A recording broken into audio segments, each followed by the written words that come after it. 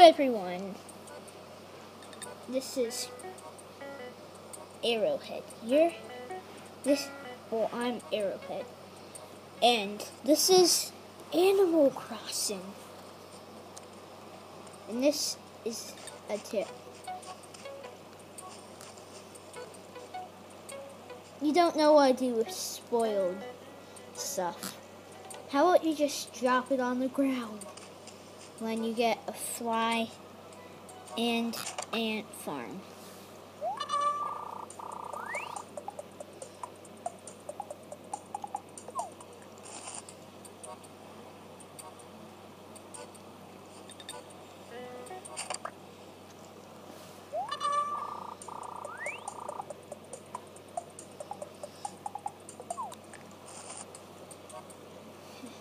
Yeah, easy.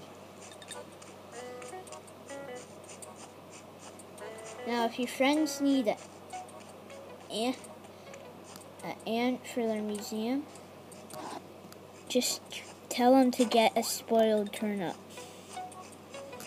yeah, just buy a turnip from a pig, or then it becomes spoiled after a while. I didn't know that happened because I pretty much just got this game when that happens, you get ant and fly farm. It's awesome.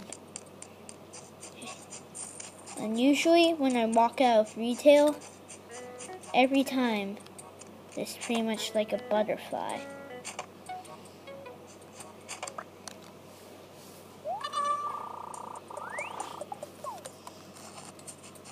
And a person in my town needs a tiger butterfly.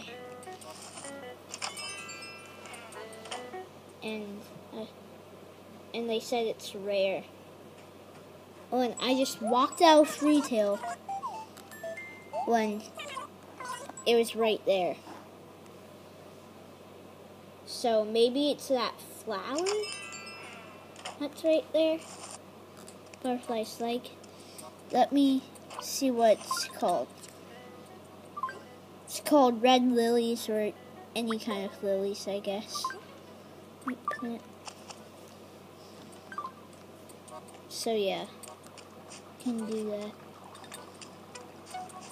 When I found my today my money rock, and money rocks are just what you think of them. You just hit a rock, and money comes out of it. Yeah. I think every day there's a new one. So go hitting rocks with a shovel or axe and and hope you get some money.